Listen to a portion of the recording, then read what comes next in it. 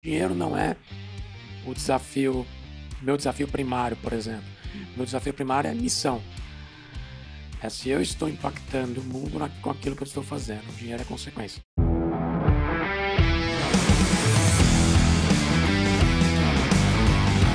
Fala galera, sejam bem-vindos a mais um episódio dos Extremos. E esse episódio a gente pode considerar um episódio Special Edition in English. Porque o Nossa convidado, porque o convidado de hoje veio Tradução, edição especial em em inglês. O pessoal de hoje veio de fora. Veio de fora. Entendeu? O pessoal importante, história de extremo no esporte, extremo na vida. Porra, extremo Cara, em tudo. a- a- assim, eu vou te falar. Quando a gente conheceu ele, eu já fiquei assim, putz, legal, História história, bacana. e tal. E daí depois a gente conheceu ele melhor. Daí eu falei, caralho, irmão. E daí depois conheceu mais eu, caralho, irmão, isso daí eu não sabia não. É Toda vez que eu encontro ele, Cara, eu falo, cada um caralho, irmão. extremo. E, e esse fim de semana que a gente foi lá, que ele contou uma parte da história que a gente vai contar aqui Não. hoje. Legal. Eu fiquei Rapaz, chocado, fico, eu fico louco até quando ele me oferece chiclete. Ah, é? O cara chega pra me oferecer chiclete, todo mundo tem, oferece aquele tradentezinho faltando dois. O cara É. chega com a caixa que ele abre e faz. Esse aqui é um chiclete. É sensacional. Agora aqui ao meu lado está ele que vocês já conhecem, né? Apesar de a gente estar indo pra sei lá quantos episódios. Meu sócio lindo. é, Obrigado. modelo de pet shop, Bruno Nardon, seja muito bem-vindo aqui hoje. Eu não vou dar um- uma latida aqui pra você, que senão eu vou te conquistar. né? Lembrando, Ficar- lembrando. Ficar aqui sorriso feliz aqui, Lembrando, abanando se aqui, você ó. conhece o dono da Patagônia, que já doou a empresa inteira, pede pra ele uns casacos pro Nardon, porque parece que é o mesmo episódio, mas não. é um novo episódio do podcast, tá bom? Muito Deixa bom. eu te falar. Fala. Eu tava outro dia pensando, você sabe qual é o nome do pai do Fábio Júnior? Puta, lá vem. Fábio Sênior. É Fábio, porra! Né? o cara Fábio, é o. Júnior, caralho. Bom, agora eu vou implementar esse novo modelo aqui de todo episódio começar com a piada aqui. Quase acertei. E é difícil, tá? acertei. Fazer piada pra gente inteligente igual o Nardon não é fácil, não. Tu viu que ele, ele não sabia, mas já chutou, já chutou parecido. Então, não é Dá fácil. aquela cortada. Exatamente. Bom, galera, o nosso convidado de hoje, diretamente da Dark Web, tô brincando. Diretamente, Web, um dos principais nomes de cybersecurity. Olha como o episódio hoje é em inglês. Não tem como fugir do inglês. é. Não tem. Não tem. Falar o quê? Vigilante da internet? né? Não dá. Imaginou o Bruno com aquelas roupinhas de vigilante? o anúncio da empresa dele podia ser vestido de vigilante assim no site. The Man of the Wall, sabe? O que você tá assistindo agora o seriado, não tá? Tô vendo Game of Game Thrones. of Thrones, do Game zero. Não tem lá os- o The Man of the Wall, a patrulha da, da noite? Patrulha da noite, mano. É isso, Eu é chamo de ele. Patrulha of the Night. Então, ele é o patrulha da noite pra proteger os, os- as empresas dele, cara. Resumindo, se você compra É na, aí. se você compra no teu telefone, se você compra na internet, provavelmente você é cliente dele sem saber que tá sendo cliente dele. Essa é, essa é a realidade. Então hoje eu vou deixar pro Bruno Nardon chamar, convocar o nosso convidado. É quase uma página de currículo, né? Mas tudo bem.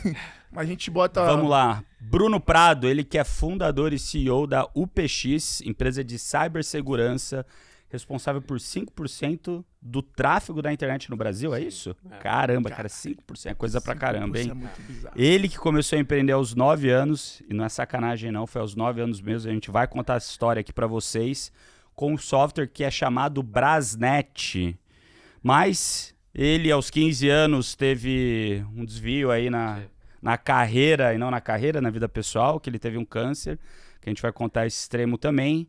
E hoje, né, que a vida dele é cheia de extremos, é um grande triatleta aí que já correu alguns meio Ironmans aí, o Ironman 70.3, que para quem não sabe é 1.9 de natação, 1 km ponto 9 de natação, 90 de ciclismo e 21 de corrida, não é fácil não. Então, Cansei, só de falar. muito bem-vindo, Bruno. Obrigado, Prazer Daniel. e Prazer, obrigado Daniel. por estar aqui com a gente no nosso podcast Extremos. Imagina, eu que agradeço. Bruno, a primeira pergunta, já entrando no assunto mais sério. Você seria o Benjamin Button brasileiro? Porra, nove anos o cara começou. 15 o cara já passou por um problema.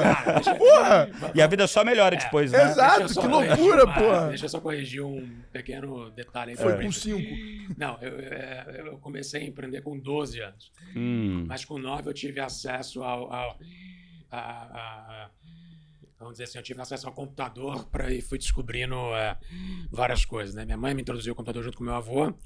É, E aí, naquela época, era tudo via DOS, né? Que ano que foi isso? Ah, eu nasci em 84, é, eu tinha 9. Então, vou fazer a conta. Vai, ah, 93. 93. Foi o 93. comecinho mesmo na internet. Internet ainda É. discada. É, Não, é, na verdade. Eu comecei, mas era pra jogar Era, paciência. era né? BBS, né? Ah, era era BBS. Era BBS ainda, né? Aham. E conta essa história É. de como que foi que você encontrou um grande ícone aí da BBS que você contou pra gente Encontrei. esses dias atrás. Teu avô era engenheiro, não é isso? Era engenheiro. ah, Você é engenheiro hoje? Sou engenheiro ah, especializado em, em cyber pela, pela SMS na Suíça. É, mas, na- bom, voltando então lá para a década de 90, sim, eu, eu me encontrei é, é, lá atrás com um cara chamado Alexander Mandik, quando é, ele montou um provedor de internet chamado Mandik. né? Então, ele que foi um dos pioneiros da internet no Brasil, é, na parte de acesso, né, com o Bullet, ah, Bulletin System, que é o BBS. Uhum. É, e ele, na verdade, meu avô o conhecia. E meu avô é, me apresentou para ele. E ele que me apresentou ali diversos itens vinculados à internet na ocasião. Então, é, é, diria que Mandic foi um dos caras que, que é, me abriram um pouco a cabeça com relação à internet. Ele já tinha uma visibilidade muito grande do, que iria é, se tornar e o que basicamente hoje é a, internet, né? Mas nessa época você já era um cara que se diferenciava no colégio, já era um cara de tirar nota alta, estudioso, ou foi Não. porque tu foi se apaixonando por essa É, parada e aí, um pouquinho de pô, escola. É, escola, assim, escola, cara, é, eu sempre fui bom naquilo que me interessava. Naquilo que não me interessava, eu não era bom. Vou ser bem sincero com você. É, então, o que, que eu gostava? Eu gostava de matemática, eu gostava de física e gostava é, de geografia, por exemplo, é uma coisa que eu gostava. É, talvez porque meu professor era muito bom na época e tal, e o cara. é, é, é, e outra, bi- biologia tinha um certo interesse, mas outras, outras paradas mais é, sofisticadas e tal, eu deixava meio que de lado. E claro, as, as aulas mais tarde de informática que naquela época existiam, né? Então eu sempre dominei as aulas de informática é, desde aquela época. É, mas voltando ainda lá para a internet, essa história é bem legal. É, o Mirk ele dava acesso a uma rede de, de o Mirk era um software que rodava em Windows é, e ele explora esse protocolo chamado IRC, que significa Internet Relay Chat. É, e esse protocolo ele permitia com que é, você se conectasse a servidores com- é, no mundo inteiro e falasse com pessoas em várias salas de bate-papo. Não existia até então é, uma rede brasileira da IRC. Então, E a- nem o bate-papo UOL, não era ainda dessa época, né? não, acho que o depois, foi bate-papo bem o bate-papo UOL veio depois ainda. Depois, é. É, E aí o que acontece? Na- Por que, que o IRC se popularizou no Brasil? Né? E tal, você, Bruno, por Sim. exemplo, foi fru- fruto também. ah, você chegou a utilizar, né? Acessar esses canais, canais Sampa, tinha canal, eh, sei lá, Joinville, canal Rio, era bem grande. É, o IRC brasileiro chegou a ter quase 80 mil pessoas simultâneas. Década de 90, cara. É gigantesco. Isso é muita coisa, Ah. tá? É, E aí eu, eu tive acesso a essas redes internacionais, principalmente na Europa, uma, uma específica chamada EFNet. Lá dentro já tinha um grupo de brasileiros. É, e aí eu conheci os caras. E esses caras, todo mundo junto ali, foi fundada uma rede. É, quem encabeçou esse projeto foi um cara de Brasília chamado Maurício Antunes. É, chama- é, e essa rede passou a se chamar Brasnet. É uma rede colaborativa onde amigos montaram. Tá? Eu fui um desses caras que, que, que colaborou também com a Brasnet. Por quê? É, quando. Aí eu já tinha ali por volta de 11 anos, quando eu já tinha acesso a isso. tipo, é muito bizarro. é, é, Eu ia falar, tipo, né, o cara tá com 18, 19, 16. Não, Não. eu tinha 11. Não, eu tinha 11 anos 11, e aí. eu- 11 eu chamava minha mãe pra ligar o computador, que eu ficava com um choque. Não, então, e aí. Ficava, ficava com medo de abrir o CD-ROM, O né? CD-ROM, vai Não, mas isso daí já foi depois também, né? Com o NetBus. NetBus, Fala, ah, NetBus e Back Office. Black Horas. NetBuzz era legal, cara. Você conseguia abrir o disco, conseguia Deletar digitar. o computador dos outros. É, acessar, acessar arquivos. Já abrir- fizemos merda já. É, exatamente. Você vê que a época de malware tá lá atrás, né? E você, por exemplo, é, foi um cara que um- foi um ofensor. Porque você certamente é, instalou o cliente do, do, do NetBuzz pra Mandou pro sacanear amiguinho alguém. aquele joguinho de topeira que você batia na cabeça. É, é, Que era o Trojan Horse. é, Exatamente, entendeu? Ah, E- muito e, bom, e- cara. E, aí, Época cara, é, é, essa rede foi formada ah, e naquela época os provedores BBS, por exemplo, se eu era do provedor Mandic, que era do Alexander, é, e você era do provedor, é, Qualquer outro. sei lá, qualquer AOL, Uhum. tá? Eu não conseguia falar com você é, a, a- a não ser pelo protocolo IRC, por esse client, né, de, e Uhum. tudo mais. Ou pelo ICQ que veio depois. Ah, e aí acontece, ah, normalmente era, era, era comum no BBS o, o software ele ter os nicknames, né, os apelidos das pessoas que estavam conectadas no provedor. Não sei se você se lembra disso. E você poderia bater papo com essas pessoas que estavam conectadas no provedor, simultaneamente. É, só que não tinha ali uma interação tão forte, porque era um software bem fraquinho e tal. Ah, foi aí que os provedores de internet, na ocasião, descobriram que existia esse protocolo e começaram a é, colocar servidores dentro desses provedores para fazer com que essas redes pudessem ser integradas e os usuários do provedor Mandic é, com, com Dual pudessem se falar através desse software. Então, é, o Mandic chegou a ter servidor na Brasnet. Na época, lá em Goiânia, é, eu fui responsável por um provedor chamado Cultura Online, Isso com 11 anos. com 11 anos.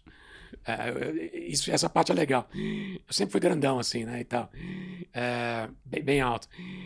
E aí, eu, eu, eu, eu peguei um... Na época, eu peguei um ônibus, bati lá na porta do, do provedor da cultura, é, eu fiz uma apresentação em PowerPoint mesmo, cheguei pro cara e falei, olha, a gente tem essa rede aqui, tem uma galera aqui, isso aqui vai permitir vocês é, se integrarem é, com outros provedores, as pessoas vão poder falar através do seu provedor, você vai ter branding aqui da sua marca é, dentro dessa rede, é uma rede colaborativa, é uma rede sem fins lucrativos, e ah, é bacana para os seus clientes. Daí os caras, beleza, mas o que tem que fazer? Eu falei, tem que, você tem que colocar um servidor aí dedicado para isso, tem um custo, mas, eu, mas eu faço tudo para você. Eu com 11 anos apresentava trabalho no colégio. com vergonha ainda. Então, com, com- mas com 11 anos eu já tive acesso, é, é, com 11 anos eu tive acesso nessa minha curiosidade de evolução é, dos building blocks computacionais, ah, eu tive acesso ao sistema operacional chamado Linux, tá? Que hoje, é, é, certamente, se, por exemplo, alguma coisa vinculada a esse podcast para ele poder estar online, alguma coisa não, certamente eu diria que, sei lá, 90% dos itens computacionais utilizados para que esse vídeo chegue é, num usuário final passa por um sistema operacional Linux. Seja um encoding do vídeo que vai ser feito, né, uma, uma transcodificação, é, seja o servidor que vai fazer a exibição desse vídeo lá pelo YouTube, por exemplo, isso tem sistema operacional Linux por trás, é, e outras variáveis. Então, eu conheci naquela, naquela época Linux na ve- nas versões iniciais. É, e os provedores precisavam de Linux para poder instalar o, o servidor do IRC e fazer esses vínculos todos.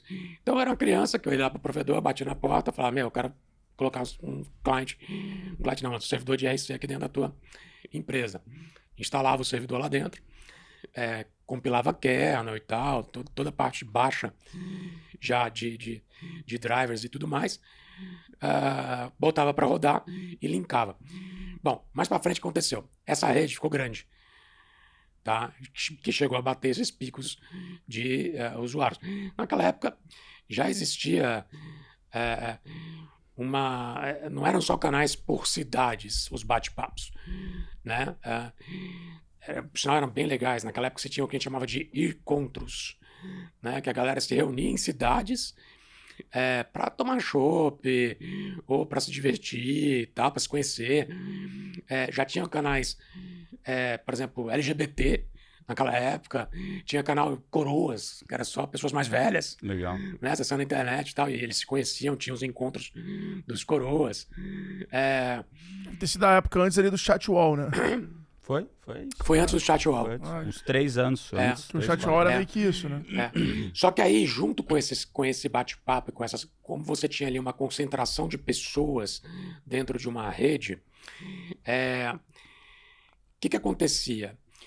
Nós não tínhamos ferramentas como hoje, vocês né, e as crianças, essa geração mais nova, têm acesso. Na, naquela época, nós construímos as ferramentas, nós programávamos as ferramentas. Então, é, por exemplo, ah, compartilhamento de. eh, naquela época chegou o MP3, né? Uhum. Que é o quê? Que é um áudio com- extremamente compactado. Hoje você tem outras extensões que são mais compactadas ainda, eh, que, por exemplo, o Spotify usa. Perfeito. Né? Então, naquela época, a gente ouvia MP3 como? Através do Winamp. Um Inamp. Então, todo Com mundo... vários skins diferentes. Exato, né? Botava lá aqueles gráficozinhos pra É. tocar e tal, aquela coisa. Você tinha uns plugins que geravam aqueles gráficos malucos. Eu não sei se você se lembra disso. Caralho, lembrando disso agora aqui. É. Aí o seu começo da vida de DJ aí, ó. Foi aí, no Inamp. É, então. É, e já tinha o fade in, fade out, É, a gente já conseguia legal. fazer é, toda a parada no, no, no Inamp. E naquela época, nesses canais de bate-papo, já existiam as rádios dos canais. Tá? Isso é antes de YouTube, antes de rádio FM na internet, antes de tudo isso. É, nessa época, que aí vieram algumas histórias é, é, de empresas, por exemplo, de hosting, começaram aí também. Então, por exemplo, Local Web surgiu daí, Sensacional. tá? Foi, do- foi o Gilberto Maltin lá com um problema que ele tinha para resolver do, do, do pai adotivo dele e tal, que tinha uma indústria de têxtil, se não me engano, e tal. E aí ele queria vender isso aí na internet, ele não tinha o e-commerce, né? Começou por aí. Que loucura. E aí ele não tinha onde hospedar esse site com, né, onde é que tinha as informações ali da indústria dele. Aí ele foi lá e fundou a Locoweb. O Gilberto tava nesse contexto. É, você pega um outro cara que estava com a gente esse final de semana, é, é, que é o Juliano, por exemplo, Primavera lá do King Roche. Ele começou também nessa época, né? ah, que vendeu a empresa dele agora recentemente por centenas de milhões.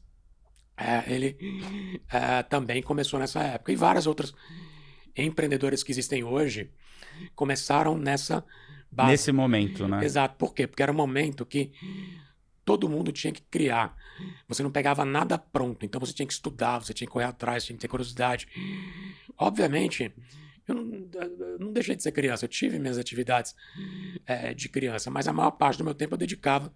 É, em vez de, Ah, em isso vez de brincar de pega-pega, ele brincava. Pega dinheiro. Pega dinheiro. É. Mas, e, E aí, como é que eu ganhei dinheiro? É, exato.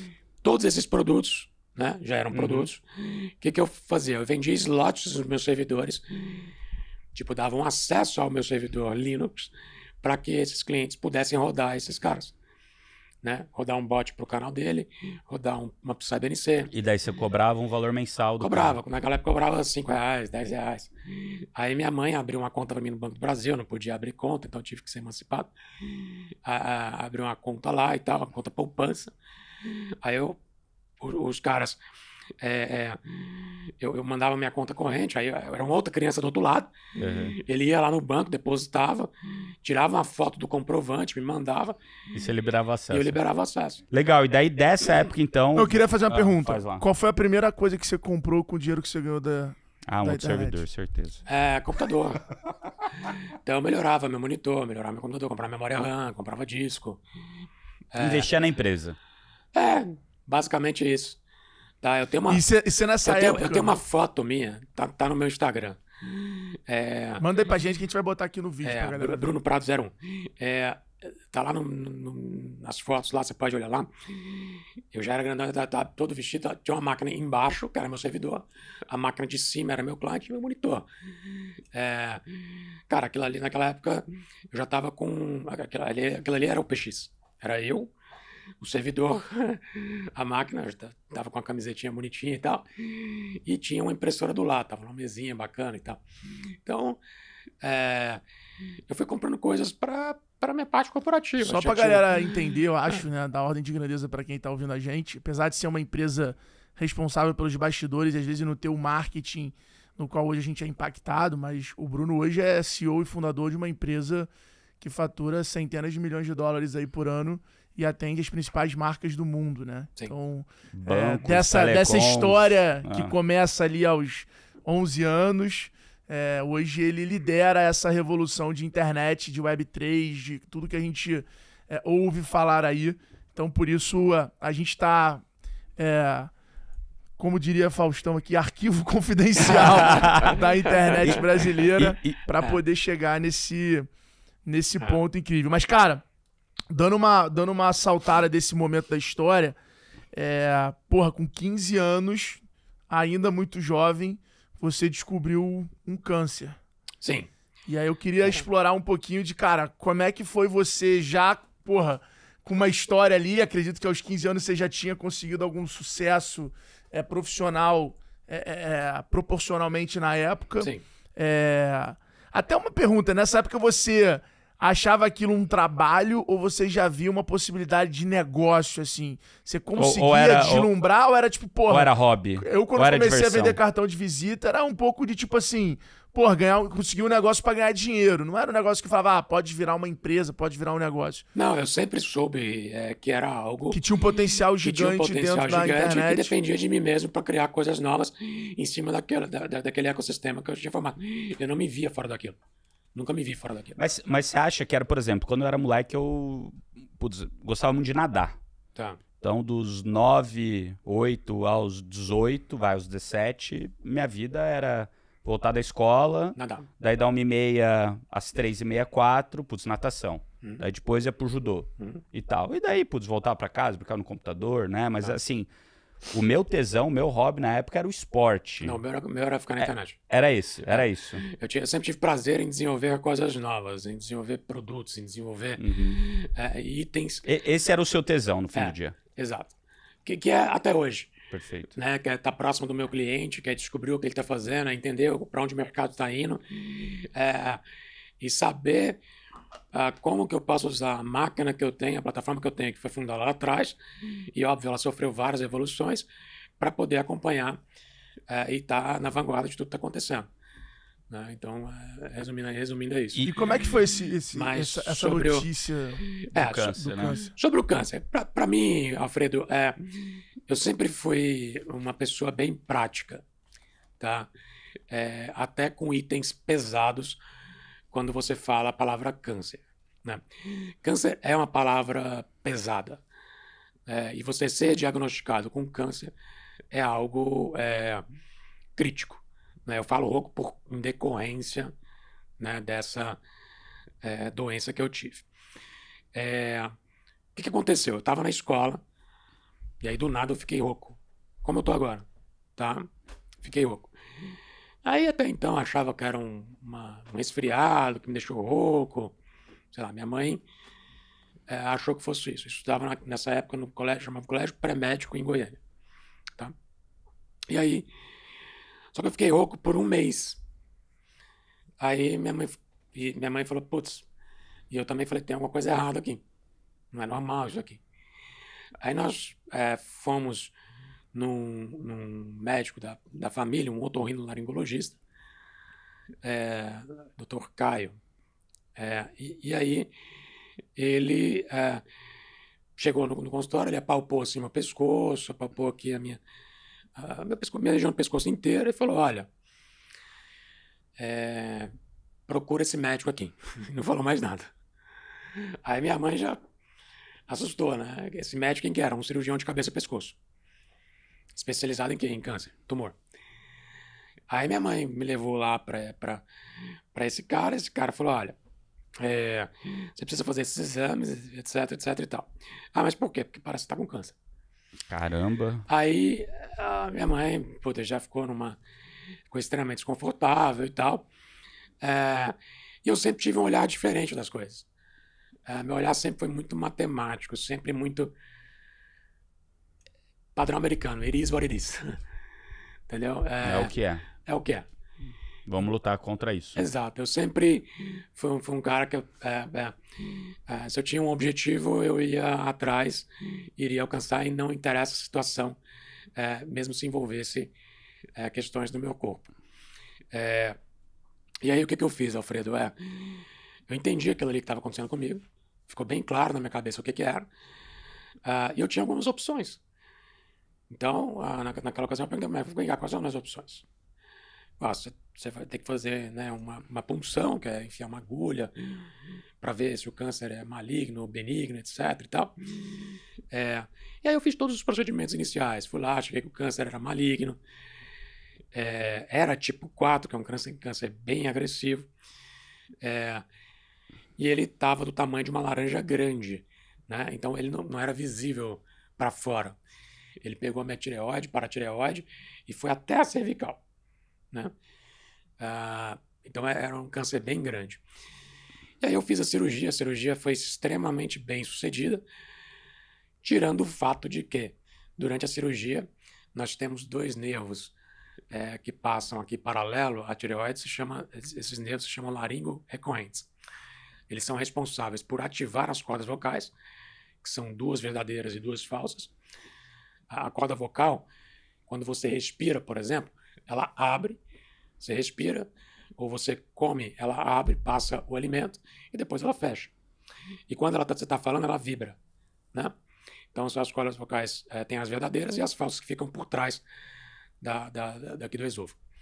É, esse nervo ele é responsável por ativar as cordas vocais e ele vem até aqui embaixo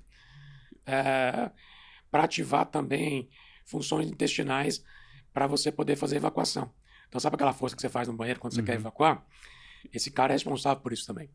Né? É, e aí, ah, um lado dele foi cortado e o outro foi afetado. Tá? Com isso, eu- eu- Por causa que o câncer estava lá. Exato. Por quê? Porque ele teve que fazer toda a limpeza. Eu tirei tireoide, paratireoide, eu tirei alguns músculos, eu raspei a cervical. Então, é- essa, essa cirurgia que eu fiz aqui, ela, ela fez uma limpeza no meu pescoço Uhum. inteira. Excelente cirurgião, que, que, que, que limpou muito bem.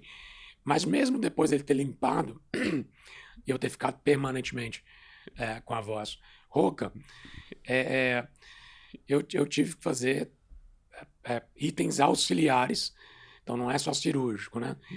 Que esses sim são os mais é, complexos. Então, tinha algumas opções ali. É, eu podia fazer radioterapia, radioiodoterapia, quimioterapia e outras variáveis. É, mas eu sempre fui muito prático, é, é, Alfredo, e é, perguntava para o médico de fato, olha, quais são os meus caminhos? Beleza, se acontecer isso, o que vai acontecer? Olha, se acontecer isso, tem esse outro caminho, tem esse outro caminho, e aí... Naquela época eu já tinha acesso à internet, fui até buscar itens alternativos. Naquela ocasião eu descobri, por exemplo, que existiam é, faculdades americanas que desenvolvem programas de medicamentos é, experimentais e tal. Tipo, você vai morrer daqui seis meses? Cara, o que, que custa você ir lá experimentar um medicamento e eventualmente aquilo ali Te cura. te cura ou te dá, ou prolonga a tua vida? Não Quem sei. era a pessoa que você É, falava assim na época, teu irmão? falava sobre o quê? Falava sobre o que tava rolando. Porque, cara, mesmo a gente sendo pragmático, sendo assim, sempre tem aquela pessoa que a gente acaba se abrindo mais e tal. Quem foi, aquela, quem foi a, o ombro amigo ali que você conseguiu? Porque tua mãe devia estar abaladíssima. Não, minha mãe, sim, é, meu pai tinha, meu pai tinha uns trabalhos. Meus pais, eles me tiveram muito novos. Então, eu fui criado meio que é, conjunto ali com os meus avós, né? Minha mãe tinha 15 anos, meu pai tinha 17, eu fui uma escapada. Então, eles eram muito novos para lidar também com aquela situação, né? Muito, acho que imaturos também para lidar com aquilo ali. É, eu tinha 15 anos, a minha mãe tinha 30. Você imagina uma pessoa de 30 anos lidar com um filho com tumor. É, é uma pessoa nova, né? É, meu pai tinha 32, entendeu? Então, muito novo para poder lidar com tudo isso. E aí, respondendo a pergunta de maneira direta, era minha mãe, cara. Eu tinha ali, eu conversava bastante com ela e tal, mas de maneira bem prática. Ah, tem que fazer cirurgia? Então vamos fazer cirurgia. Tudo bem. A única coisa que me acontecia que incomodava um pouco, Alfredo, naquela época, era que pessoas em volta parece que começaram a se afastar de mim como se eu tivesse. Com pena. Não, não é por Bem- pena, como se eu tivesse algo que eu fosse. Transmitir. transmitir. É que nem no começo do Covid, né? A galera não sabia o que que era, não queria nem relar na pessoa. Exato, mas, mas existe esse. Acho que existe até hoje esse sim, preconceito. Cara, eu acho que, eu acho Tá. que de câncer menos, né? Porque, putz, câncer já é algo super normal. Não, acho mas- que não, cara. Acho Não, tá a pessoa certo. fica com dó, fica Ah. com pena. É, eu acho que a E pessoa aí ela fica- quer se afastar e tal. Não sabe como lidar com a Cara, situação, né? O grande segredo para você poder. Eu já passei por várias situações. Depois disso do câncer, tive é, obstrução intestinal plena, quase morri também. é, é, e outras situações. T- t- Todas as situações médicas que eu já atravessei é, e situações de vida que eu já atravessei, eu sempre procuro manter o que? A rotina. Tá? Então, por exemplo, ah, tô com câncer, tenho que fazer uma cirurgia. Tudo bem, mas eu já tinha minhas coisas na, na, na UPX. Então, eu levantava cedo, eu não ia ficar sem fazer nada porque eu tava com câncer ou porque eu tinha que, é, é, que, que, que me recuperar da cirurgia. Não, cara, beleza, fiz a cirurgia, tirei o tumor, voltei. Tudo bem. É, qual é o próximo passo? Tá bom, é, de- decidimos então ir para radioiodoterapia. Esse mexeu bastante comigo. É, radioiodoterapia, é, você toma iodo 131. Te dá uma ideia de que que é 131 a nível de radioatividade. Você lembra o acidente que teve do Césio 137 em Goiânia, que matou muita gente? Isso foi registrado nos livros de 80 histórias e poucos, né? em 87. É, isso está registrado nos livros de é, história.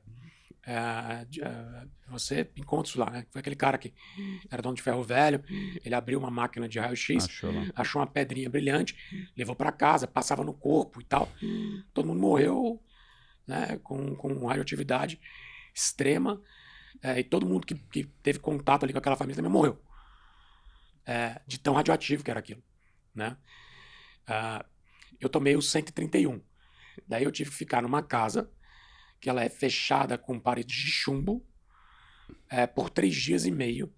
E tudo que eu levava pra, levei para lá, eu tinha que deixar lá, até mesmo roupas.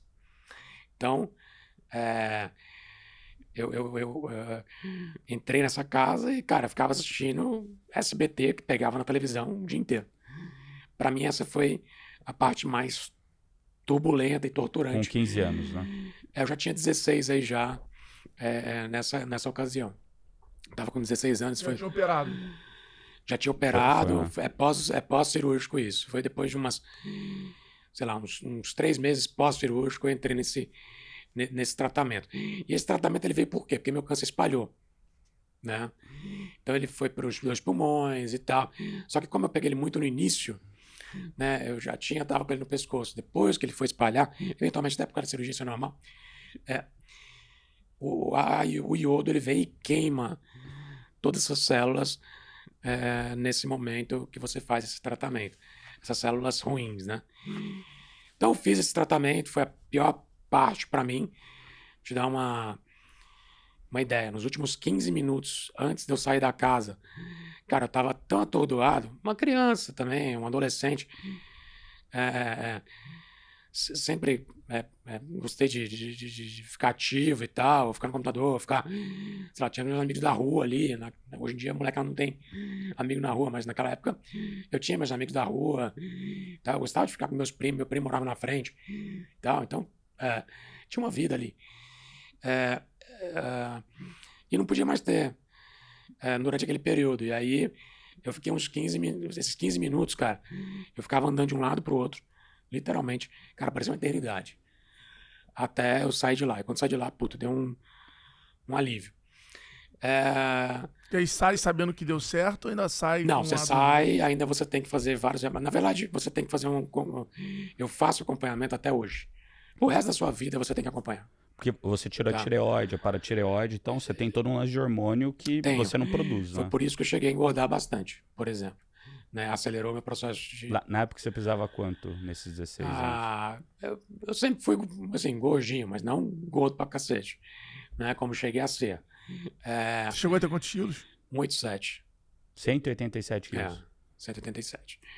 É, tem uma foto minha Mas- também lá no meu Instagram, você pode Vai botar, a gente vai botar aqui no Mas, mas, Tá nessa, mas nessa época, com 16 anos, você devia ter aqui uns 80, uns 70, algo do gênero. Ah, é, tinha uns 70 e poucos, tá, 80 Então, quilos. então era, putz, era um pouquinho acima da média mas- para uma criança da idade, mas mas, ok. era alto também, mas ok. É, exato, mas ok, entendeu? Então, é, aí pós-tratamento, ah, eu tive um ciclo é, de checagem e tal. Essa parte hormonal mexeu muito comigo. Porque, por, por isso que você tem que respeitar, por exemplo, mulheres com menopausa é, ou pré-menopausa, elas já passam por essa fase que a gente chama de hipotiroidismo, que é a falta do hormônio da tireoide fazendo feedback com a hipófise, né? Hipófise é aquela, tipo um feijãozinho que você tem no meio do cérebro, protegido por um, por um, osso, por um ossinho ali, né? É, que fica no, no, no hipotálamo. E, e- e aí você tem é, é, a tireoide que fica aqui, né, por fora, é, aqui da, da, da, da- faringe, né? É, e na laringe ali. Então, é uma glândula, né?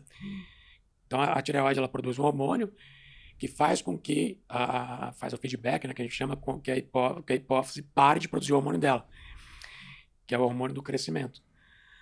É, e outros, outras variáveis que, que, esse, que esse cara produz.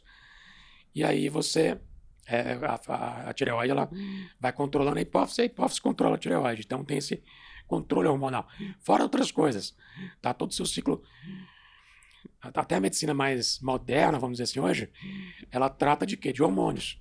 Né? Ela, é, imagina, naquela época, você ficar é, sem toda essa parte de, de- desse feedback completo, ah, isso me trouxe um hipotiroidismo, depois me trouxe hipertiroidismo. Hipotiroidismo, por exemplo, me provocava uma coisa péssima. Que era o quê? Eu tinha uma dor na, na, na- na- canela, na, na- batata da perna e na, parte da frente. Parecia que eu tinha, sei lá, 10 tijolos eh, ali dentro de peso, me provocando dor. Isso é uma das coisas provocadas pelo hipotireoidismo. Outra coisa, eu não conseguia desenvolver um raciocínio como estou desenvolvendo aqui. Tá? Meu raciocínio era curto. Porque Você, você não conseguia se desenvolver, a tua parte cognitiva ficava afetada. Ela fica afetada quando você tem é, o hipotiroidismo. Já o hipertiroidismo, que eu também tive, te deixa acelerado, coração acelerado. É, o hipotiroidismo te engorda, o hipertiroidismo te emagrece. Então, cara, esse descontrole todo, ele não é bom. né? E com isso eu passei a ganhar bastante peso e cheguei a esse pico de 187. Né? Literalmente foi no extremo. Foi num grande extremo. Foi- Com quantos foi anos você extremo. chegou no pico? Isso foi em 2000, 2000, e- 2009. Foi, o- foi o pico. Então você já tava com os seus 20 e poucos anos. É. 25 anos. E qual foi. Você não deve poder falar nomes, mas qual foi o primeiro cliente grandão que você fechou assim, que você falou assim, porra. Mudou o jogo. Pode falar o segmento, assim. Não, posso falar um nome, vai, Fred, vou te abrir. É, eu não vou abrir outros nomes, mas. é, é, Aquele que mudou, que tu não acreditou. Quando você falou, que? não, eu, eu já, é, eu já Não tinha. rela- falar nome não, mas... é, eu já tinha relacionamento é, é, com um certo. Beleza, não vou falar nomes, mas é, eu tinha um, relacion- um certo relacionamento com um determinado banco brasileiro. São, são quatro, cinco bancos brasileiros. Exato, eu tava num Hoje deles. você tem todos, então. É, eu tava num deles. eu tava num deles. E o processo para entrar nesses bancos é muito difícil. Tá? Eu fiquei batendo ali por cinco anos tentando entrar. Então, é, quando você é, chega num banco para poder ofertar uma solução que você vende, mesmo solução de cyber, é, os bancos têm uma área de inovação que eles chamam, que é a área que todo mundo manda cair lá, é a área genérica. A curva de rio ali. É, e aí, quando o banco precisa de alguma coisa, ele olha o que que é que tem ali e pinça alguma coisa, né? Então eu fiz todo o processo ali nesse banco. É, é, é, é, sei lá, começou em 2009, dois- 2008, 2009. Fui tentando, tentando, tentando, tentando. Aí quando foi em 2011, não foi nem em 2012, é, eu é, consegui eu consegui. Um dia eu recebi uma ligação de, de um vice-presidente desse banco. Falou, Bruno, ó, é o seguinte, a gente sabe que você faz isso. Já conheci o cara, já tinha 300 reuniões já e tal. Sabe aquela história que você cansava de já visitar o cliente e bater? Você sabe muito bem disso, né, Alfredo?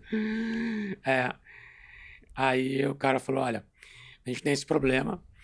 A gente tem aqui um gringo. Quem que era o gringo? Calma aí. É, mas tem outras é, soluções aqui na mesa.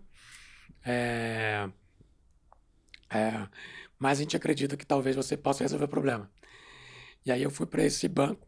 É, puta, eu é, nessa época me ajudou a engordar ainda mais. É, vou te contar algumas histórias. Porra, agora sim. É. Olha Agora- só, eu tinha uma Porsche Cayenne naquela época, tá? Eu sempre adorei Cayenne, então tive desde as primeiras eu fui comprando Cayenne. Até hoje tenho, tenho uma Cayenne assim, das últimas versões, eu adoro a Porsche Cayenne. Da minha, da minha esposa, ela. É, aí eu peguei, é, eu tinha que ficar dentro dessa instituição porque você manobrar um transatlântico é muito complexo, cara. É uma arquitetura muito grande. O cara tem ambiente transacional, ele tem múltiplos canais de venda, o cara tem centenas de milhões de clientes acessando as plataformas, o cara tem mainframe, cara. É uns negócios antigaços. O cara tem mainframe. Mainframe se comunica, naquela época se comunicava, tem alguns bancos, esse banco específico já trocou para mainframes mais sofisticados, isso caminha para um dia ir para as nuvens, mas é, mainframe utili- utilizava naquela época um protocolo de comunicação que não era o regular da internet, é um protocolo próprio de comunicação, né? É, que hoje, programador de mainframe, por exemplo, o cara tem no mínimo 50 anos, no mínimo 50 anos de idade, tá? Então você vai nos bancos lá para poder ver quem programa mainframe, só cabelo branco, tá? Você não vai achar cara novo lá dentro. Uhum. É, e você não tem mainframe em cloud, né? Então isso não modernizou, Perfeito. né? Ah, então toda essa arquitetura do banco era complexa.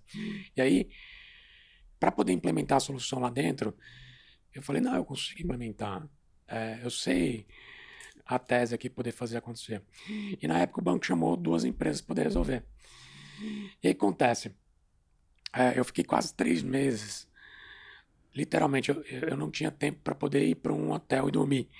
Então, eu colocava um, a KN, ela sempre foi muito larga. Eu colocava um colchão dentro da KN. Então, eu ia para dentro da área operacional dos caras. Eu comia só pão, pizza. Imagina. Vou falar isso porque ele sabe disso. Quer dizer, não vou falar nomes, mas, cara, imagina o cara do conselho de um banco comendo pizza comigo em salinha, tá? O tempo inteiro. Com essa cara do conselho, tá? De banco que fatura dezenas, de, bilhões, tá? Que é um dos, sei lá, top 5 do mundo, tá? Então, é, o cara tava comendo pizza ali comigo o tempo inteiro para poder enxergar a Virar negócio. e resolver os problemas, né? De- desse, desse tipo de ataque específico. E aí, cara, a gente conseguiu implementar. Foi muito duro, foi doloroso, é, mas eu não podia envolver muita gente do meu time, por quê? Porque eu não tinha um template criado para atender uma organização daquele tamanho. Né? Eu já atendi organizações grandes, mas nunca tão grande.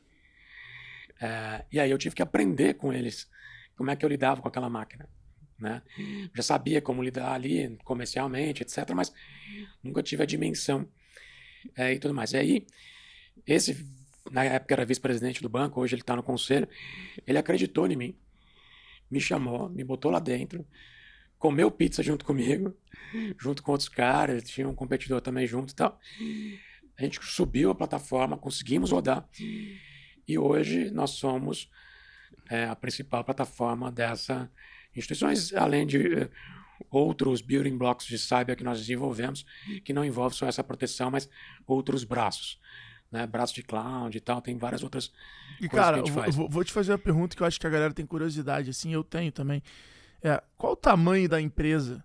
É faturamento, número de cliente, número de. pra se preocupar com isso fora do mainstream ali do que já tem de segurança no computador, que já tem de segurança nos clouds, nas plataformas, na AWS, etc e tal. Quando uma empresa deve realmente, existe alguma algum igual no marketing tem lá que pô, você deve investir dependendo do segmento de 2 a 4%, de 5 a 10, Tem alguma conta dessa que você hoje recomendaria para o empresário? Tipo assim, cara, 2% do teu faturamento, investe em segurança, em cybersecurity no teu negócio. Você... Excelente pergunta. É... Que parece um assunto meio, né? Cybersecurity é hoje é, é, é, extremamente importante para qualquer empresa, para qualquer segmento. Tá? Então, se você pega uma discrepância, é, eu estava olhando esse número ontem, tá? É, o mercado brasileiro de cybersecurity ele ainda é de 5,7 bi de dólar. Tá? Cybersecurity brasileiro. Uhum. O mercado americano é 40. Tá? Tá. Então, olha só os Estados Unidos. Olha, olha o tanto que o maior. Brasil tem que crescer ainda em cyber. Né? O mercado global já está em 160 bi de dólar. Tá? E as previsões para os próximos anos, elas são é, Crescer ainda mais. bem maiores, né? para poucas empresas. Você tem poucas empresas de cyber hoje no mundo, tá? É, nos anos 2000 a 2000, ou, por exemplo, o PX começou a fazer cyber em 2008, já tinha gente de cybersecurity, mas majoritariamente firewalls e tal, esses caras assim. É, até 2000 e, 2000, de 2004 a- a- até desculpa 2000, 2006 até 2012 você tinha generalistas. Hoje você tem especialistas. Inclusive o Dan Gear que é um cara de cybersecurity bem grande ele fala isso no keynote dele de 2006 ele fala que cybersecurity é uma tarefa o profissional de cybersecurity as empresas que provê esse tipo de serviço é uma tarefa tão complexa sofisticada que dali para frente ele tinha razão você não vai ter mais generalistas, você vai ter especialistas. Isso não aconteceu só, você sabe. Eu Vou, vou trazer aqui um paralelo para algo que vocês já, já saibam. Algo, algo que vocês já experimentaram. Quando você ia numa loja de informática, é, na década de 90, você comprava é, no break, um, mo um modem, uma, uma placa de vídeo, ah, um computador, ele montava para você, instalava uma placa de vídeo bacana e colocava Quake, colocava nos joguinhos bacanas. É, você comprava é, acesso à internet dentro da loja de informática. Ela era o quê? Generalista. Depois o que, que aconteceu? Uma mudança de mercado. Onde você compra monitor hoje? Na Dell. Na Acer. Então, Onde você compra um computador? Na Dell. Na Acer. O que, que eles passaram a ser? Especialista. Especialista né? Então, o especialista passou a vender direto pro, pro cliente. É, a mesma coisa aconteceu também na internet. Você tinha ali é, caras generalistas. Que você tinha agências naquela época ali que faziam desde a propaganda offline até o site do cara. Né? Que você tinha área de digital dentro dessas agências. Depois foi formado ali as agências digitais. Essas agências faziam o quê? Ah, precisava programar um e-commerce. Cara, ela fazia do zero e-commerce. Precisava mandar e-mail marketing, ela fazia uma plataforma de e-mail marketing. né? E isso mudou depois, onde você tem hoje especialistas em e-mail marketing. Empresa que fatura centenas de milhões de especialistas em e-mail marketing. Empresas especialistas que faturam centenas de milhões em e-commerce. Então você segmentou, você ficou, se tornou especialista. Isso aconteceu também em cybersecurity. Que aconteceu mais tarde. Por quê? Porque é algo ainda muito novo. Uhum. E aí, ah, quer dizer, isso está acontecendo ainda, né? Tem, tem alguns caras que ainda são generalistas e eh, nós optamos por ser especialistas.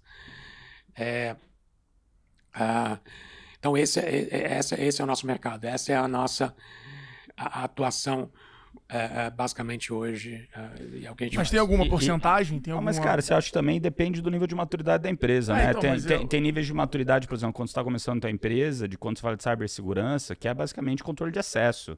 Isso é um tipo de cibersegurança, né? Putz, como que você... Então, mas é meio que o... Não, não, então, mas esse é o básico, puta, você tem é, nível de acesso É, dentro ca- de, calma, eu vou te explicar, de, eu de vou te- softwares Ah, diferentes. no Daí- G4 a gente passou por vários momentos. Não, não, momento exato, mas, ter... mas, mas daí você tá num- Calma, numa calma, empresa maior, que você vai precisar Tá. da parte de cibersegurança para ter ataque, Você entendeu o contexto que eu expliquei? Sim. Beleza, agora eu vou descer para o nível da sua pergunta. Perfeito. Tá? Respondendo a tua pergunta. Hoje, um G4 precisa de ah, itens de cybersecurity. Agora, o que, que ele tem que fazer para ter cybersecurity? É, aí entra esse conceito de generalista para especialista dentro da organização. Antigamente você contratava o quê? Um cara de TI, né? Você tem um cara de TI. O que, que o cara de TI ele faz? O CIO numa empresa grande ou um gerente de TI numa empresa de menor porte? Ele é um generalista. Ele vai comprar o acesso à internet, ele vai comprar um firewall que ele acha que é interessante, ele vai comprar um roteador para distribuir internet para dentro da empresa, roteador Wi-Fi, por exemplo. Ele vai comprar endpoint, que são as estações que os funcionários vão utilizar. Ele vai comprar é, é, software, ele vai comprar sistema operacional, ele vai comprar, sei lá, Office, ele vai comprar Windows, ele vai comprar é, RP para poder fazer as integrações, é, sei lá, que, digamos que seja uma indústria, por exemplo, seja um RP uh, para poder se organizar. É, ele vai contratar softwares as a service para poder, hoje em dia, né, para poder fazer, por exemplo, videoconferência. Então ele vai contratar então, um é Zoom. Porque eu acho que quando as empresas hoje contratam essas soluções, elas meio que já contam com isso. Não, então, aí e a gente tá. teve casos recentemente Aí tá da. Rene, se eu não me engano, É. tipo, porra, de Ah, invasões, é. pedida de resgate bilioná- bilionários. Não, aí que tá o erro. Então, é, eram generalistas. Aí depois veio, Alfredo, é, uma função nova, que era o quê? Pô, a gente precisa de uns caras de segurança aqui dentro, porque tá tendo alguns problemas. Só que isso é, não está ainda muito amadurecido nas empresas de menor porte. Daqui as empresas grandes já estão se estruturando melhor. No Brasil ainda nem todas, mas é, recentemente eu vi empresas, semana passada eu vi empresas de amigos que faturam bilhões e não tem uma área de segurança, tá? E agora o cara está se preocupando porque ele sofreu uma fraude provocada num ataque que a gente chama de whale phishing. Vou explicar o que é isso daqui a pouco. É, é, resumindo, ele teve um prejuízo de 4 1,4 milhões de dólares, tá? Numa transação fraudulenta para Londres. É, então, as organizações brasileiras não têm, brasileiras elas não têm esse cara dentro ali, dentro. Elas têm o quê? Normalmente células que elas ou esses caras que são generalistas que falam que sabem segurança, mas eles não falam. Qual que é a diferença do cara de segurança para esses generalistas? O cara de segurança, como eu mencionei, é, por exemplo, Faro, acesso à internet, ele não pensa em como prover acesso à internet para a empresa. Ele pensa no seguinte: como proteger aquele acesso à internet para que a empresa se torne segura. Esse é o cara de segurança. Então ele pensa em como colocar uma lista de IPs maliciosos no firewall e manter essa lista atualizada para que esses IPs não se comuniquem com a sua rede interna. Né? É, o cara de segurança ele pensa em como proteger As senhas As dos usuários. estações né? é, dos usuários. O cara de segurança ele pensa em como não deixar com que usuários dentro da empresa utilizem senhas que eles queiram e sim tenham um gerenciador de senhas. Né? É, Ou que tenha um fator de. O two-factor segundo fator de autenticação. exato. e etc. Então, o cara de segurança ele pensa dessa forma. Então, é, é, é, só que esse cara está sendo colocado aqui para baixo, né? Para baixo de um CIO, para baixo de um. E aí a gente é, percebe hoje, e essa é uma grande falha, é, é, e eu é, na minha parte de pessoa física, eu sou advisor de vários conselhos e de alguns boards. É, o que eu sempre falo é o seguinte: falo, olha, primeiro passo é tirar esse cara aqui de baixo. Você vai ter um CISO. Você vai ter um par desse cara.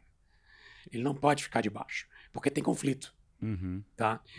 Então, e tem que deixar bem claro qual é o papel do CIO e qual é o papel do CISO. Né? E tem que separar. E o CIO tem que respeitar o papel do CISO e o CISO tem que respeitar o papel do CIO. Né? E tem que ter uma convergência ali de informação. Então, por exemplo, o CIO vai comprar um roteador de borda para a empresa dele, ele escolhe porque o time dele está acostumado a lidar com aquele brand específico, Cisco, Juniper, sei lá, Huawei, whatever. Seja. né? É, a decisão é dele? Não. É uma decisão conjunta hoje em dia. O cara de segurança tem que participar, por quê? Porque as automações de segurança que o cara vai fazer em cima daquele equipamento, e o cara de segurança pensa muito em automação, é, tem que falar a mesma linguagem. Então, eventualmente, não é aquele brand que o, que o CIO quer que vai ser comprado. Não, eventualmente tem que ser algo conjunto. Olha, você quer essas features? Tá bom, esse cara tem essas features. É, que te atende aqui no teu aspecto técnico, mas no aspecto de segurança, esse cara que também tem esses pontos técnicos. Beleza, esse cara aqui é o cara que é o ideal para nossa empresa. Mesmo Perfeito. que ele seja mais caro. Perfeito. Cara, você como conselheiro aí, é, conta uma coisa inusitada, assim, extrema, de ser conselheiro de cybersecurity de grandes empresas. Eu Algo sei, eu sei de uma, eu sei de uma Algo que você que já me contou na, na, na- na- Cara, vou na te contar uma, é- assim, a mais, a mais grave de uma empresa, não vou citar segmento, mas essa foi. Vou citar algumas, umas engraçadas Isso, e outras isso. bem pesadas, tá? É, vou começar por uma pesada. É uma empresa de grande porte, aliás, uma não, algumas dos, do mesmo setor.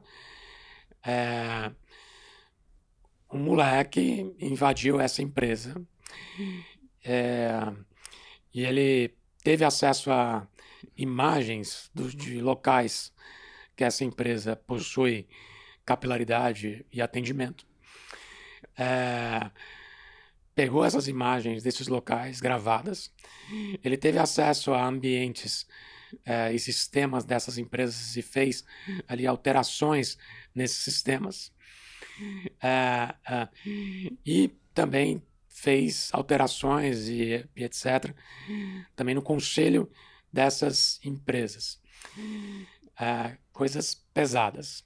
Ele trouxe tudo isso é, num dossiê, chamou os conselheiros das empresas e falou: Olha, vocês têm isso aqui de vulnerabilidade. Entendeu?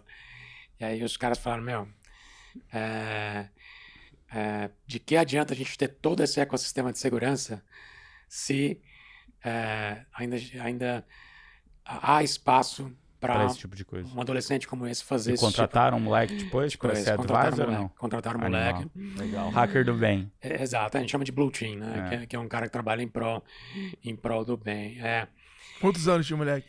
Ele tava com 15 anos, hoje ele tá com 19, né? Já, Legal. já tem um tempo. Interessante. Então, é, esse moleque foi contratado e ele é, é, ele é um consultor aí, né, dessas, dessas empresas. E é engraçado. E ele fatura muito bem na pessoa física dele. Montou uma empresinha e tal. Essa empresinha é, já, já tá faturando 90 milhões de reais por ano. Ela tem quatro funcionários, quatro funcionários, eu ia falar isso. tá? Caralho. Animal. tá? É, um pessoal, é um cara de Fortaleza, Legal. tá? Animal. Que animal. É, a- a- uma outra situação aí, por exemplo, essa, vou falar três. Essa de médio porte, empresa fatura é, é, bilhões, não dezenas de bilhões, é do setor de indústria, é, farmacêutica, tá? É, e esse cara é, tinha lá a área de TI dele, naquele formato Os antigão meninos da TI. Menino da TI, que é o sobrinho dele, você aquelas paradas.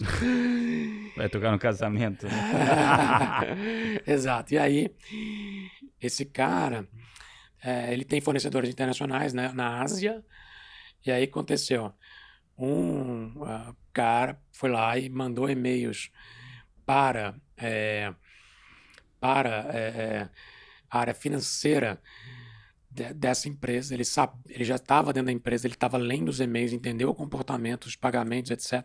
Então, quem eram os fornecedores, quais eram os valores pagos. Ele fez um phishing, trocando uma letra do domínio do fornecedor. Então, ele registrou um domínio.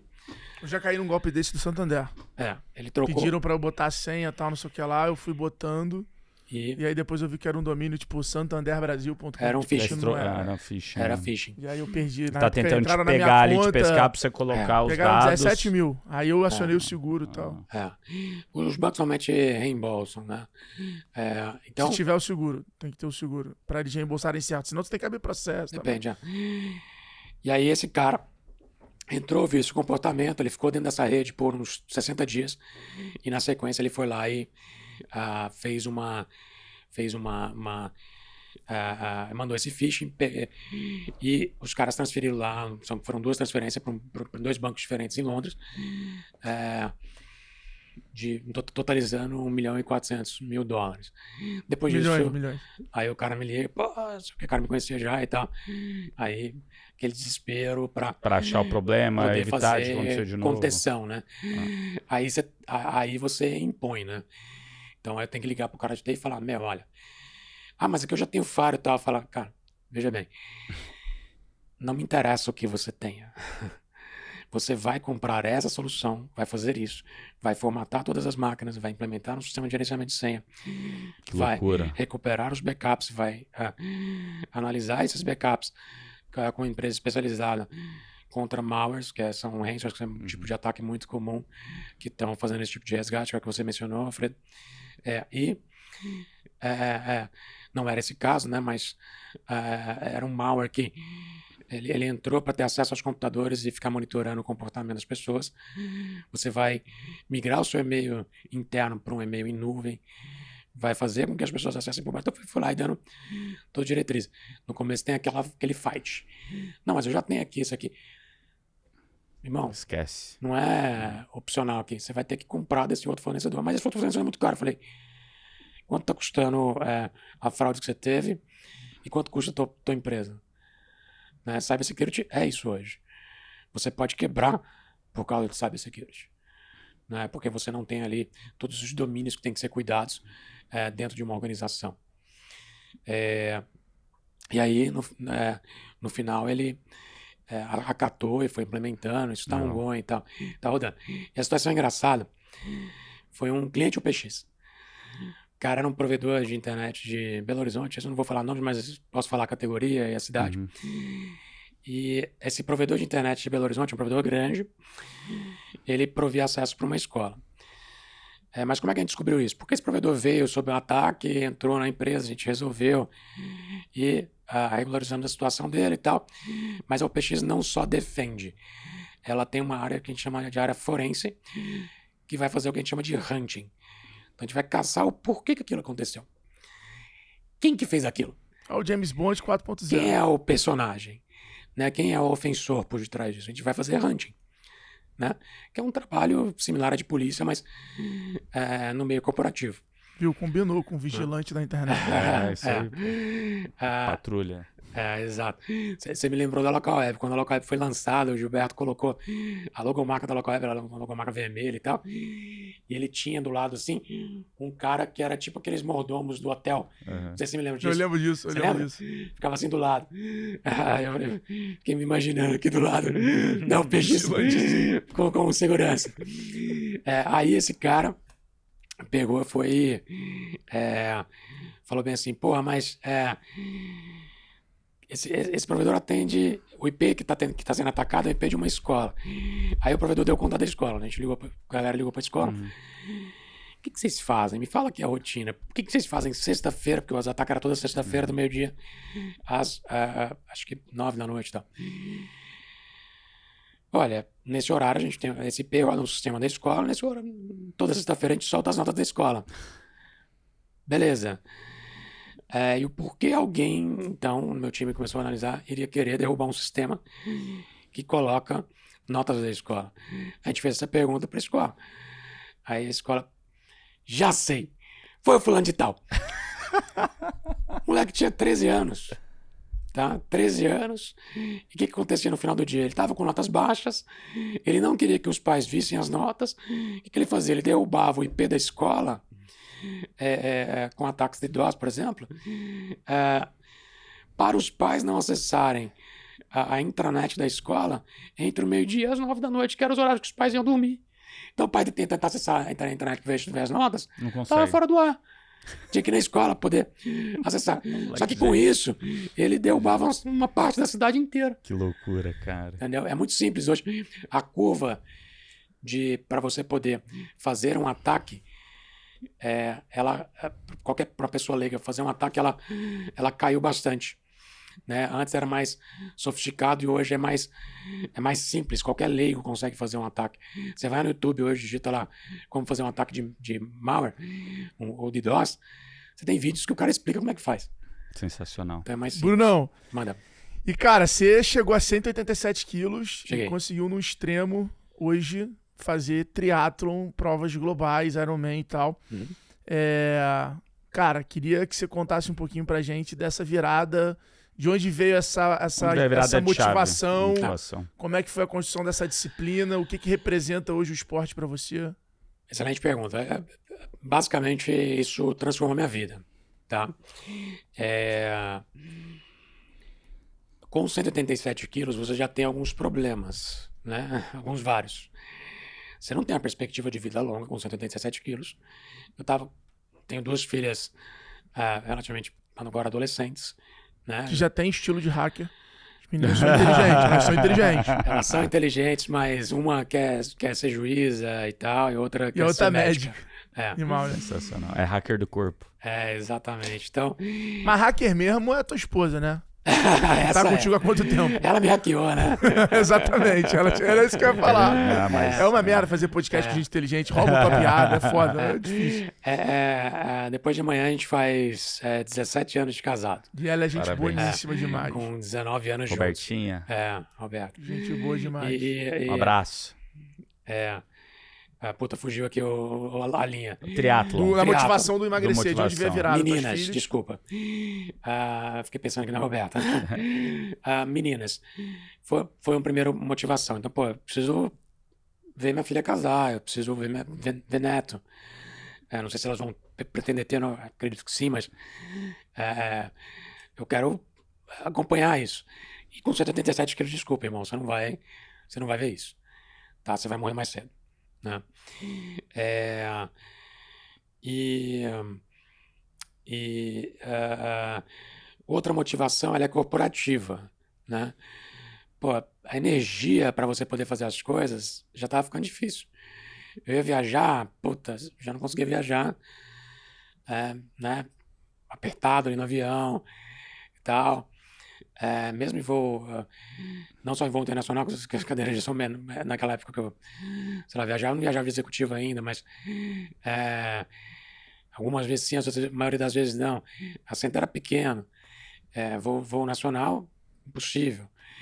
É, então, é, o relacionamento até, né?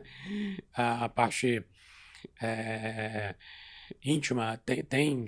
Você começa. A mulher começa a reclamar, pô, né? Você tem. Você tá com peso grande. É, então. ah, começou a ter um certo descontrole aquilo ali. Óbvio que tinha uma fundamentação que era a parte hormonal, que ajudava a piorar a situação, mas tinha também o lado é, de não ter uma disciplina com alimentação, é, comer muita merda e, e por aí vai. Então, eu analisei todo esse cenário e falei, peraí, preciso traçar um plano para poder transformar isso. Então, eu fiz um procedimento intestinal é, para poder me ajudar a descer de peso. Tá? Não é aquele de estômago e tal, nada disso. Ele faz um, chama bypass intestinal. Ele faz um desvio do seu intestino e ele é reversível é, para que você possa perder peso, tá? E o que, acontece no final do dia é que você tem uma absorção intestinal menor é, do que ah, você tinha antes. Ah, o que aconteceu foi o seguinte: eu fiz isso, emagreci, cheguei a, a emagrecer 35 quilos, então fui para 157. Só que no meio do caminho eu tive uma obstrução intestinal plena. Foi que eu quase morri de novo. É, não que o câncer tenha quase morrido, mas poderia. Ah, mas aí foi mais pesado. Por quê? Porque eh, o intestino ele vira e você começa a acumular eh, fezes em uma determinada área. E ele pode estourar e você morre por infecção generalizada. Tá? Eh, e aí eu tive que. Todas as pessoas que abrem a cavidade abdominal podem ter obstrução intestinal plena. Tá? Eh, então, por exemplo, mulheres que tiveram filhos eh, em parto cesariano, cesariana, né? É, ah, utilizando essa técnica, podem ter obstrução intestinal plena, Uhum. tá? Um exemplo ah, disso. Então, ah, eu tive essa obstrução e aí eu tive que fazer uma cirurgia às pressas. Eu entrei no avião, fui para para a cidade onde meu médico me operou, fiz a cirurgia, revertendo a cirurgia depois de um ano que eu estava operado, tá? Só que quando eu reverti, a minha eh, capacidade de, de absorção voltou para o que era antes. Você engordou de novo. Aí eu comecei a engordar de novo. Daí eu falei, opa, peraí. Então, vou aproveitar que eu desci esses poucos quilos, mas já me permitia ter uma certa mobilidade. Eu vou começar a fazer alguma coisa. Aí eu comecei a fazer academia. Gordão mesmo. Né? É, aí eu comecei a fazer academia, devagar, três vezes por semana. Comecei a fazer caminhadas. E aí fui evoluindo. Depois de. É, quando eu, aí eu comecei a fazer uma dieta, comecei a restringir um pouco a alimentação. Decidi não tomar mais refrigerante. Hoje eu voltei, mas por causa do triatlo. Depois explico isso. É, e, e, por aí vai. É, quando eu cheguei ali por volta de uns 120 quilos, eu fui fazer wakeboard. Resolvi fazer. Falei, pô, tô com 120 quilos, mas dane eu vou fazer. E aí eu fui naqueles cable parks na época, lá perto de Campinas tem um chamado Naga Cable Park, Naga. fui lá. E aí fui aprender a fazer, fazer tal. E aquilo ali eu percebi que o esporte, ele me estimulava no dia a dia, toda semana eu ia, todo final de semana eu ia. Ele me estimulava a perder peso, para quê? Para que eu ficasse melhor ali em cima da prancha. Então eu fui perdendo mais peso, fui começando a me exercitar mais, fui. Isso foi que ano, mais ou menos? Me educando. Cara, isso eu operei em 2010. Uh, eu operei em 2009, desculpa, a primeira vez. Aí depois, em 2010, eu fiz a segunda cirurgia. Aí foi quando eu comecei a 2011, eu comecei a fazer. Legal. E daí uh, você já tava com quantos quilos nessa época? Wakeboard, é, aí eu tava. Quando eu comecei, eu tava com 126, para ser uhum. preciso. Uhum. 128, por aí. Aí eu fui perdendo peso e, e mantive uma média ali de 116 quilos, mas com a massa magra muito baixa ainda e tal. Tinha mais uma, uma taxa de gordura é, corporal maior. É. é. E aí, quando é, foi ali por volta do. do mais para frente, eu, eu, fui começando a, a evoluir no wakeboard. Uh, eu mais para frente eu decidi ir para os Estados Unidos, eu decidi mudar. Uhum. É, quando cheguei nos Estados Unidos, uh, conheci uma pessoa é, e esse cara falou: Meu, até então eu cheguei lá e comecei a engordar de novo, porque. Alimentação totalmente diferente. É, cheguei é, lá, dá, puta, cheguei até no Cable Park lá, falei, puta, vou continuar fazendo wake e tal, mas o wake não emagrece. Exato. Né? O que emagrece é você mudar um pouco a mentalidade e tal, mas ele te estimula a fazer isso. Mas eu mantive aquele peso alto ali e tal. É, falei, pô, eu vou é, fazer wake e tal, mas aí eu conheci esse cara e falou, cara, é o seguinte, é, você vai fazer triatlon comigo. Eu falei, não, não consigo nem correr 3 km aqui, meu. Ele falou, não, vamos fazer. Aí ele começou a me puxar, cara. É, ele começou a me puxar, o nome dele é Marcelo Dantas. Aí ele começou a me puxar. Foi o quê? Foi 18? Foi, foi 18, julho de 18. Legal. Aí ele começou a me puxar, me puxar, me puxar, me puxar. Nesse between this time, né? Entre esse uhum. tempo. Eu fiquei fazendo wake e tal. É, cheguei a fazer algumas corridinhas mais pequenas, sei lá, 5K na cidade, uhum. né? Essas coisinhas da cidade e tal. E manter ali um peso average um pouco alto, mas fui. Aí, aí quando eu me mudei, é, eu, eu conheci esse cara e ele começou a me puxar pra corrida. Falou, não, vamos correr. Aí corria no início 3K, depois 5. Cara, depois de três meses eu tava correndo 10K. Muito bom. Tá? Mas eu consegui correr, óbvio, muito lento, era um trote e tal. Muito cansado, com um cardíaco tal. Aí ele falou, cara, agora eu vou te apresentar a bicicleta. Aí eu conheci a bicicleta. Aí eu comecei a pedalar. Aí entrou um pouco de lado nerd e me despertou curiosidades. Mas como é que eu posso melhorar meu pedal? Aí vem equipamentos, porque na corrida tem técnicas, tem técnicas de é, alimentação, é, e alguns hacks que você pode fazer para poder uh, uh, ter uma boa corrida.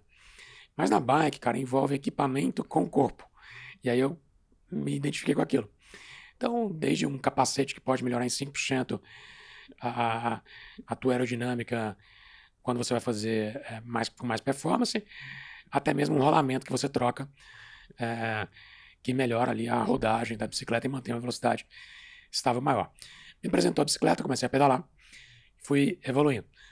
Na sequência, é, comecei a nadar, mas a natação tinha muita dificuldade por causa da respiração.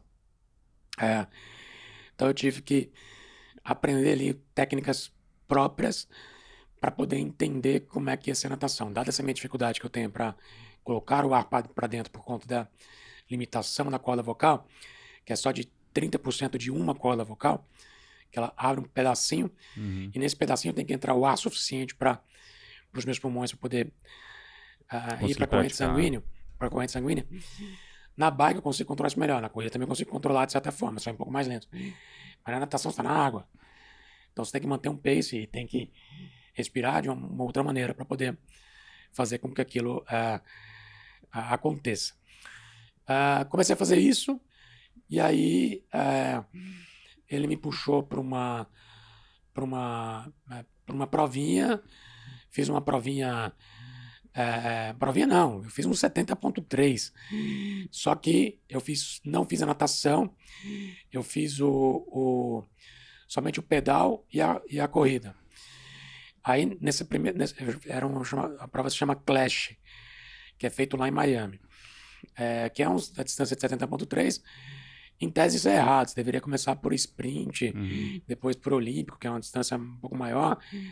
Depois você vai pro Internacional, depois você vai pro 70.3. E depois você vai para um, pra um full. Full é fim de carreira já. Uhum. É, então eu falei, putz, vou fazer isso. Aí eu conheci um cara chamado José Graça, que é um puta de um triatleta, é, que por sinal tá fazendo o Kona agora, o Mundial que tá, tá acontecendo hoje.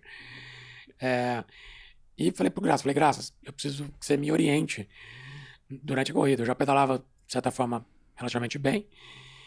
É, e aí ah, chamei um outro amigo meu para fazer uma prova no formato relay. O que, que é o relay? Alguém pode fazer alguma coisa por você e você pode, por Um exemplo, revezamentinho. é um revezamento. É.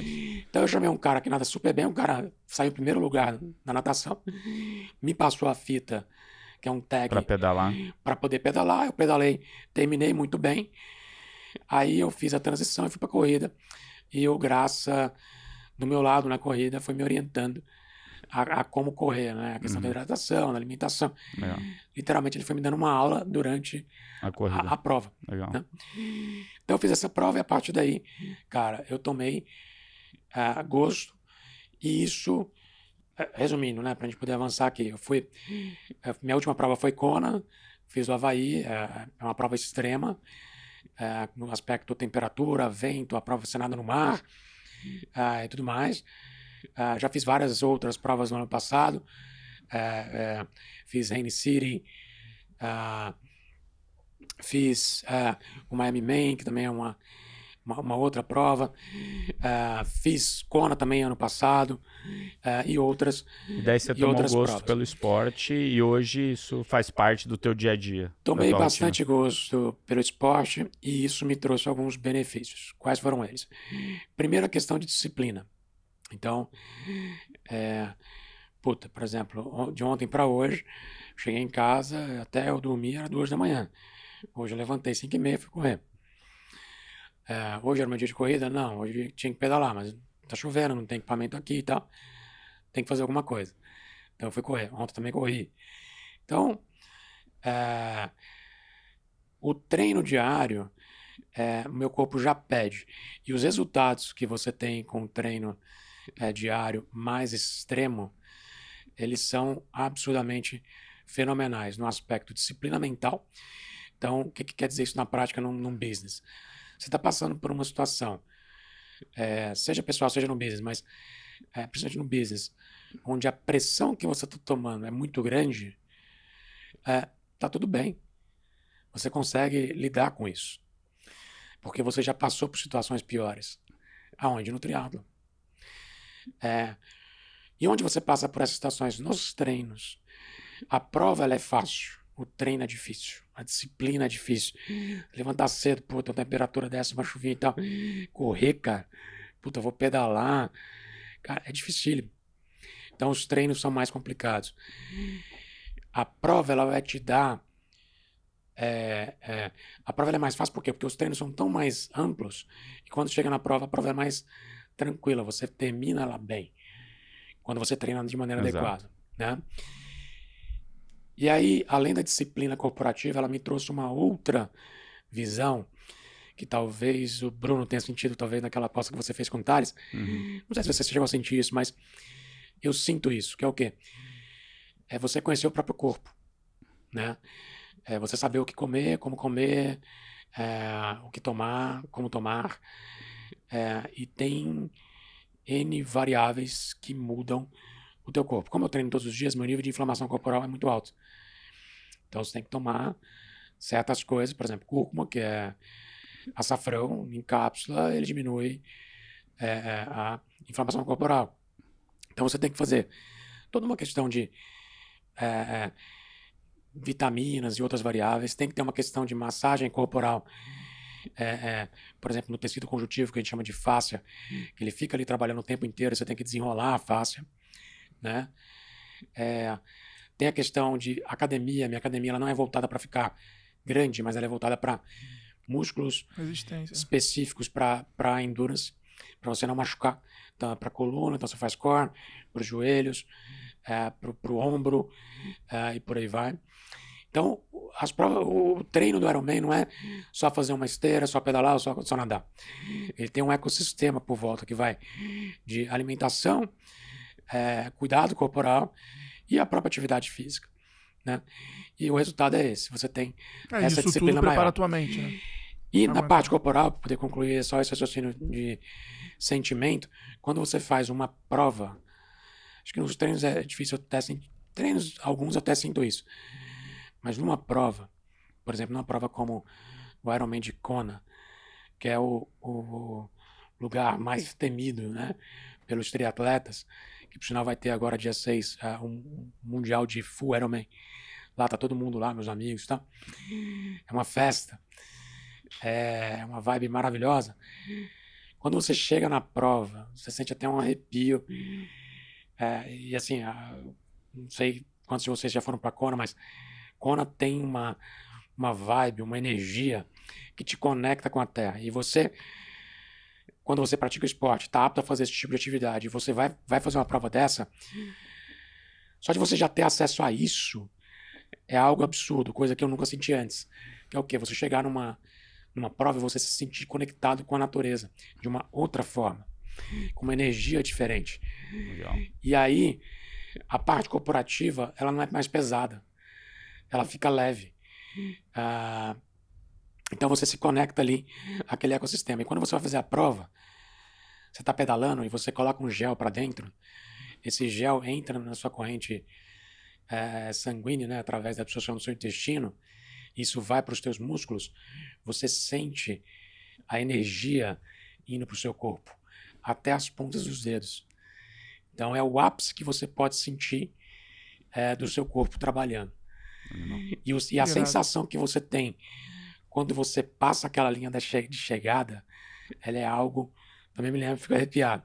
É algo assim. É, tipo quando o filho nasce. Né? Você tá ali no. Algo similar. Um momento extremo tá? de felicidade de que você conseguiu atingir seu objetivo. Exato. Então você estava ali no, no, máximo da dificuldade que você podia, e aí toda a história que você passa na tua vida, é, você começa a refletir sobre tudo aquilo.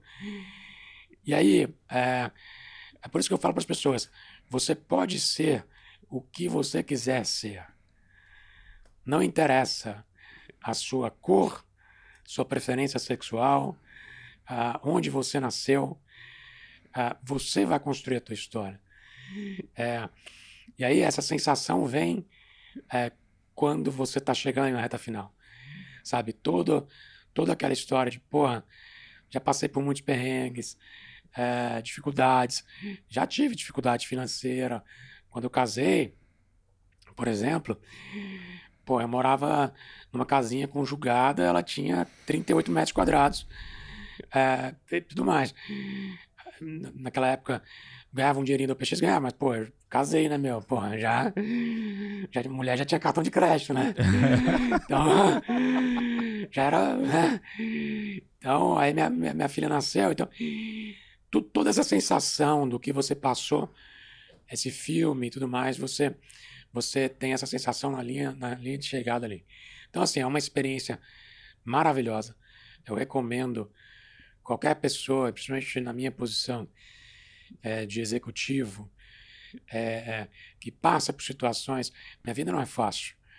Né? Você tem que manter. O cara que não tem dinheiro, é, quando ele ganha dinheiro, para ele manter o dinheiro é difícil. Para ele ganhar o dinheiro também é difícil.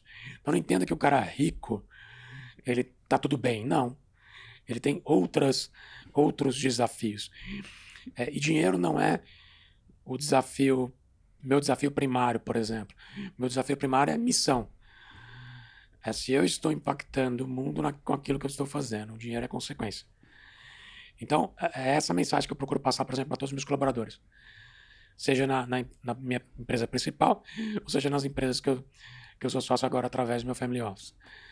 Tá, Brunão, tá reta final aqui. Manda. Um, um, uma última pergunta nossa tradicional. Tá. Tem a galera que às vezes acelera o podcast até o final só para ouvir essa pergunta. Se você tivesse um superpoder e pudesse resolver um problema do mundo, qual seria o problema que você resolveria? É uma pergunta bem ampla, né? Acho que o mundo de hoje está passando por tantos, tantos problemas. É... Se eu tivesse um superpoder hoje, né, nesse cenário global de 2022, é, certamente uh, eu queria trazer um pouco mais de é, consciência para as pessoas para, para não ficarem é, tão polarizados tão influenciados, tão sobrecarregados é, como estão hoje com os níveis de informações que nós temos acesso. A, a, a tecnologia ela possibilitou a, as informações chegarem de um lado para o outro muito rápido, mas eu acho que a, a nossa geração, pelo menos a minha, e até os mais novos, eles, talvez no futuro, uh, o ser humano que vai se transformando, ele tenha mais capacidade de lidar com isso. Eu entendo que nós não temos capacidade de digerir tudo o que acontece no mundo. Uh, e se você consome muita informação uh, e você começa a, a, criar paradigmas, etc., como a gente tem hoje, toda essa polarização política e etc., uh, isso é algo muito ruim em vários aspectos em aspectos econômicos e em aspectos também pessoais. Eu sou um cara muito pró-ser humano. Então, se eu pudesse resolver alguma coisa, se tivesse superpoder, eu retiraria essa carga Boa. de informações das pessoas que elas possuem hoje é. para poder. A galera acaba reagindo sem digerir. Para poder evitar toda essa, uh, essa volumetria de informações que é carregado na mente das pessoas. Boa. Bom, é. algum comentário, senhor Bruno Nardon? Cara, puta foi... podcast, hein? Não, puta podcast, foi sensacional. Vai merecer episódio 2 esse aqui. Esse ah, aqui não vai, vai, ter jeito. Cara, eu vejo assim, né, que, que de todas as pessoas que a gente já conversou aqui, você vê que um padrão meio que se repete, né? Que o Bruno, assim como outras pessoas, começou ali pela própria curiosidade, por aquilo que ele gostava, resolver problemas para ele e que de certa forma essa resolução de problemas para ele viraram soluções para outras pessoas porque ele fez muito bem aquilo que ele fazia para resolver para ele. E depois em cima disso ele foi conseguindo ver o futuro de uma maneira diferente para onde o mundo iria e sempre entender cara qual que era o diferencial competitivo dele e o futuro foi mudando né? para se posicionar nesse novo futuro né? E, e você vê que os grandes movimentos que ele fez também foram nessa direção. E que independente é, das dificuldades que aconteceram no meio do caminho para ele, assim como né, é algo padrão que a gente vê aqui, a galera conseguiu reagir, não assumir um, assumir o protagonismo na, na resolução daquele problema e não talvez um lado de vitimismo, de ah, porque isso está acontecendo comigo e cara, como que eu consigo ser protagonista e eu consigo resolver isso por mim mesmo, né? E daí você vê isso se refletindo em vários momentos da sua vida como padrão e agora isso de certa forma no esporte, que é a tua curiosidade, né? Que é aquilo que putz, te dá tesão de fazer e que você também entende significado e que traz é, é, ainda esse papel de protagonismo para você melhorar em outros aspectos da sua vida. Então, cara, achei sensacional Muito aí. Foda. A gente é. cruzou vários. É, vários aspectos diferentes, mas várias poderíamos barreiras ter, dessa cybersecurity. É, poderíamos ter falado de várias outras coisas. Foi super mas vai legal. ter dois, vai ter dois aqui. Não vai Vamos ter fazer. Vamos Brunão, fazer. qual é o teu Instagram pra galera te seguir Bruno lá? Bruno Prado 01, pode seguir lá. Bruno Prado 01. É. Bom, Bruno.nardon. Alfredo Soares. E é assim, com Bruno Nardon arrepiadinho. A gente encerra esse podcast de hoje com Obrigado. mais um Extremos para você. Deixe os seus comentários aqui embaixo, siga o nosso canal, siga a gente lá no Instagram também, que tem bastante corte, bastante coisa legal para vocês compartilharem. Tamo Boa. junto e a gente se vê no próximo episódio. Valeu!